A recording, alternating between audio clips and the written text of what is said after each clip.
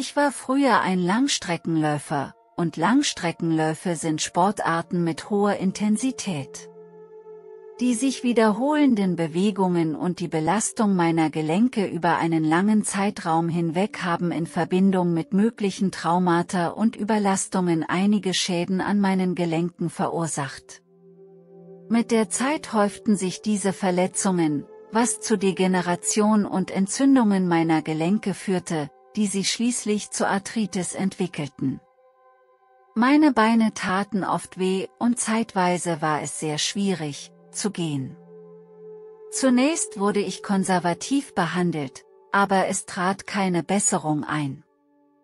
Während meiner Behandlung verbrachte ich viel Zeit mit Gebet und Bibelstudium. Der Arzt riet mir dann, mich diesmal operieren zu lassen, da die konservative Behandlung keine Wirkung zeigte. Später haben wir einen Termin für die Operation festgelegt. Ich setzte mich mit meiner Familie in Verbindung und bat sie, für mich zu beten. Am Morgen der Operation sagte mir die Krankenschwester, dass ich die entspannteste Person sei, die sie je vor einer Operation gesehen habe. Als ich den Operationssaal betrat, bekam ich ein Narkosemittel. Mein Bewusstsein begann zu verschwimmen. Nach einer Weile fühlte ich mich sehr unbehaglich. Mein Herz begann unregelmäßig zu schlagen und es fühlte sich an, als würde es gleich stehen bleiben. Auch das Atmen fiel mir immer schwerer, und es schien, als würde mich eine Kraft am Atmen hindern. Ich versuchte, meine Augen zu öffnen, aber ich konnte meinen Körper nicht spüren. Ich fühlte mich sehr ängstlich und mein Körper begann sich ständig zu wehren, aber ich konnte ihn nicht kontrollieren. Dabei wurde mir klar, dass ich eine schwere körperliche Reaktion erlebte, möglicherweise eine allergische Reaktion auf Medikamente oder andere Komplikationen. Ich hoffte, dass die Ärzte schnell handeln würden, um mir zu helfen, wieder normal zu atmen und einen normalen Herzschlag zu bekommen. Nach einigen weiteren Augenblicken wurde die Welt still und meine Schmerzen verschwanden. Als ich die Augen öffnete, fand ich mich an der Decke des Zimmers wieder. Ich hörte, wie der Arzt den Schwestern befahl, mehr Blutbeutel zu holen. Mein Gesicht sah blass aus. Ich wusste, dass es mein eigener Körper war, aber ich fühlte mich nicht beunruhigt oder besorgt. Ich ging durch die Wände des Zimmers und hinaus auf den Krankenhausflur. Ich spürte keinen Widerstand, als ich die Wand überquerte. Auf dem Flur bemerkte ich, dass sich eine Fahrstuhltür öffnete. Ein Mann stürzte heraus. Seine Unruhe erregte meine Aufmerksamkeit. Er trug eine schwarze Jacke und hatte eine Aktentasche in der Hand. Er ging eilig auf den Operationssaal zu und wurde am Eingang langsamer. Er unterhielt sich mit einem anderen Arzt. Ich erinnere mich nicht mehr an den Inhalt ihres Gesprächs, aber ich weiß, dass der Mann ebenfalls Arzt war. Sie stritten sich und der Arzt beschwerte sich über den Arzt im schwarzen Kittel. Plötzlich begann ich, durch die Decke des Krankenhauses zu gehen, als würde ich von einer geheimnisvollen Kraft gezogen werden. Ich stieg weiter auf, bis ich das Dach durchquerte und mich über dem Krankenhaus wiederfand. Als ich das Krankenhaus verlassen hatte, begann ich, die Stadt in einem schnelleren Tempo zu überfliegen. Ich bewegte mich so schnell, dass ich hätte spüren müssen, wie der Wind an mir vorbei wehte, aber ich spürte nichts davon. Ich gelangte an einen höhlenartigen Ort, an dem ich mich eine Zeit lang schnell bewegte dann erschien ein kleines helles Licht vor mir. Ich trat in das Licht ein. Ich sah den Rücken eines Mannes vor mir. Unbewusst dachte ich, ich sollte ihm folgen. Er hatte sehr langes Haar und trug ein langes weißes Gewand aus grobem Material, und er hatte Sandalen an den Füßen. Er lächelte und winkte mir zu und forderte mich auf, auf ihn zuzugehen. Als ich mich ihm näherte, empfand ich eine unaussprechliche Freude und einen Frieden. Ich spürte, dass seine Gegenwart so vertraut und warm war, dass ich mich ihm nicht fern oder fremd fühlte. Er empfing mich mit offenen Armen. Hier ließ ich mein Leben mit ihm Revue passieren. Ich sah etwas, das mich mit Stolz erfüllte. Es war während meiner Studienzeit, als ich mich einer freiwilligen Organisation anschloss. Jede Woche gingen wir in eine nahegelegene Gemeinde, um den älteren Menschen und Kindern dort zu helfen. Ich reinigte ihre Zimmer, unterhielt mich mit ihnen und ging mit den Kindern zum Spielen. Einmal sah ich eine ältere Großmutter, die wegen ihres schlechten Gesundheitszustands schon lange nicht mehr draußen war, und so begleitete ich sie zu einem Spaziergang in den Park. An diesem Nachmittag spazierten wir durch den Garten. Die Großmutter hatte die ganze Zeit ein Lächeln im Gesicht. Diese Erfahrung gab mir ein tiefes Gefühl für die Freude und den Sinn, anderen zu helfen. Aber wenn ich auf mein Leben zurückblicke, sehe ich auch eine schlimme Sache, für die ich mich schäme und die ich bereue. Während meiner Studienzeit habe ich in einer Prüfung die Antworten einer anderen Person abgeschrieben und am Ende eine gute Note erhalten. Als ich von diesem Vorfall las, fühlte ich mich schuldig und bereute es. Ich wusste, dass ich mich selbst und meine Professoren betrogen hatte. Als alles vorbei war, drehte ich meinen Kopf und sah Jesus an. Sein Blick war sanft und vergebend, ohne Vorwürfe oder Lob. Ich fühlte mich ein wenig nervös und besorgt und fragte mich, was er von mir dachte. Nach einigen Augenblicken des Schweigens sprach Jesus plötzlich zu mir und fragte mich, ob ich mit ihm abhängen wolle. Ich war ein wenig überrascht, aber auch erfreut. Ich antwortete, natürlich. Wir gingen eine Treppe hinauf, und vor uns lag eine herrliche idyllische Landschaft. Die Wiese war voller bunter Blumen, die ich noch nie gesehen hatte. In der Wiese befand sich ein kleiner Fluss. Wir kamen an den Fluss, und am gegenüberliegenden Ufer sah ich geliebte Menschen, die gestorben waren. Sie waren alle versammelt.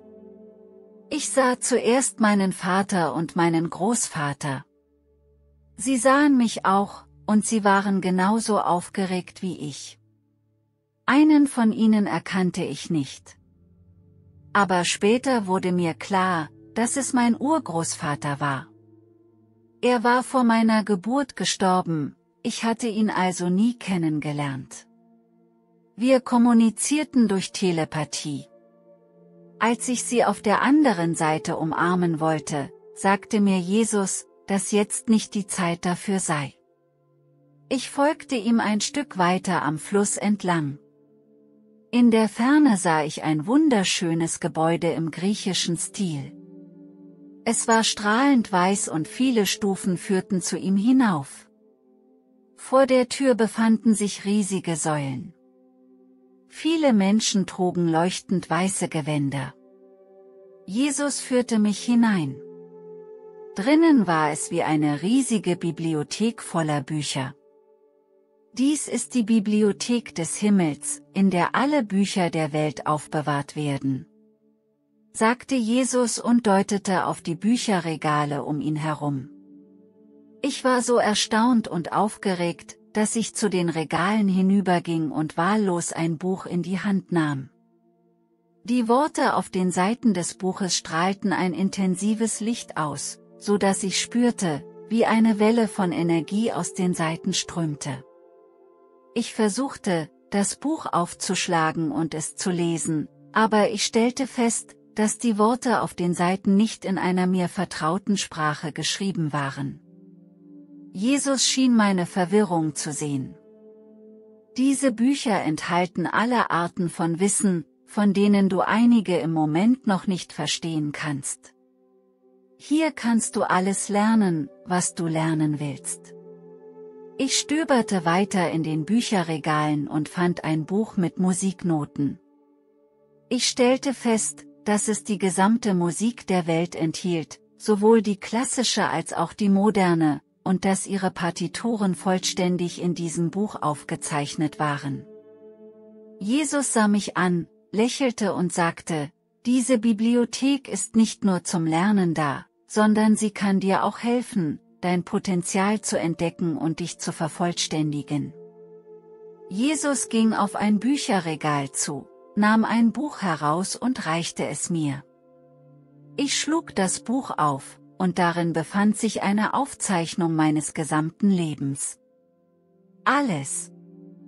Von meinen Kindheitstagen bis heute.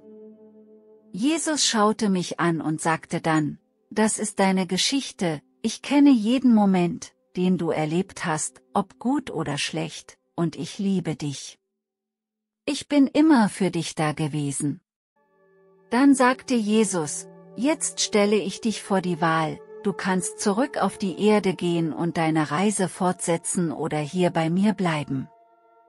Ich spürte eine unwiderstehliche Kraft, die mich zu Jesus zog. Ich wusste, dass ich hier bleiben und bei ihm sein wollte. Durch seine Liebe und Aufmerksamkeit fühlte ich mich wohler, als ich es je zuvor getan hatte. Ich sagte zu Jesus, kann ich jetzt meine Familie sehen? Das nächste, was ich sah, war die Szene im Krankenhaus. Der Arzt sprach mit meiner Mutter. Ich konnte ihr Gespräch nicht hören, ich sah nur die Szene. Ich sah Szenen, in denen Familie und Freunde Gebete sprachen. Jedes Gebet erschien wie ein Zettel, einer nach dem anderen, der sich auf mich zubewegte. Ich erinnerte mich daran, dass mein Vater gestorben war, als ich noch sehr klein war. Meine Mutter hatte sehr hart gearbeitet, um mich zu erziehen. Wenn ich mich entschieden hätte, zu bleiben, hätte ich mir mit Schaudern ausgemalt, wie ihr Leben verlaufen wäre. So schwer es mir auch fiel, diesen Ort der Liebe zu verlassen, ich wusste, dass ich zurückkehren musste.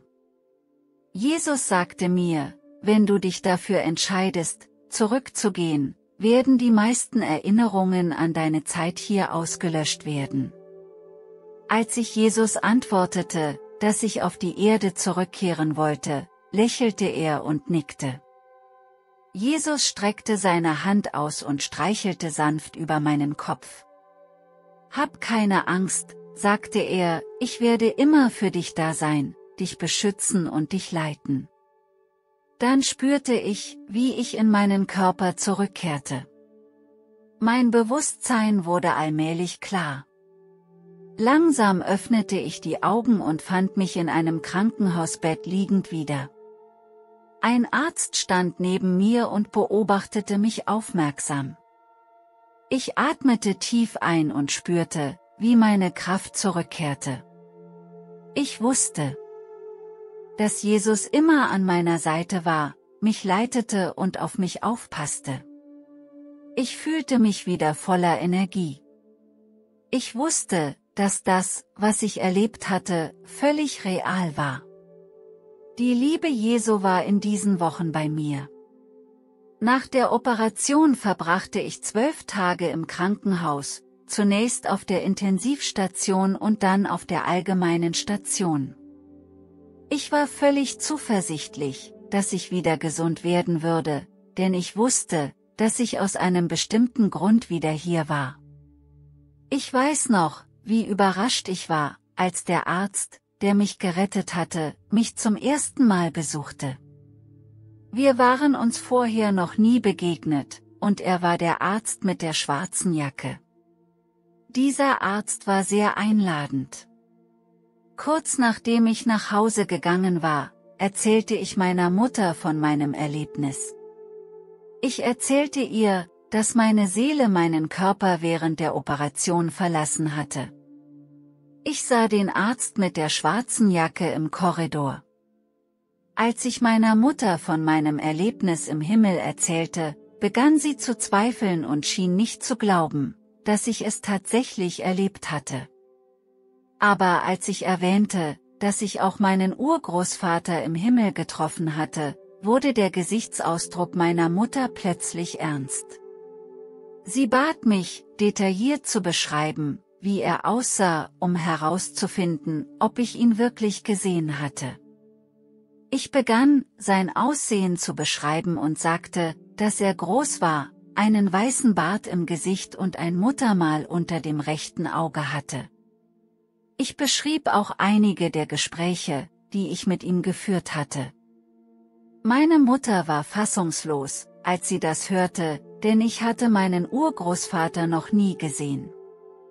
Es gab auch kein Bild von ihm im Haus. Meine Mutter wusste, dass ich nicht gelogen hatte. Diese Tatsache schockierte sie und machte sie noch überzeugter von der Existenz des Himmels, denn Urgroßvater sah genauso aus, wie ich ihn beschrieben hatte. Es war kein Zufall, dass sie zu der Überzeugung kam, dass ich Jesus im Himmel gesehen hatte.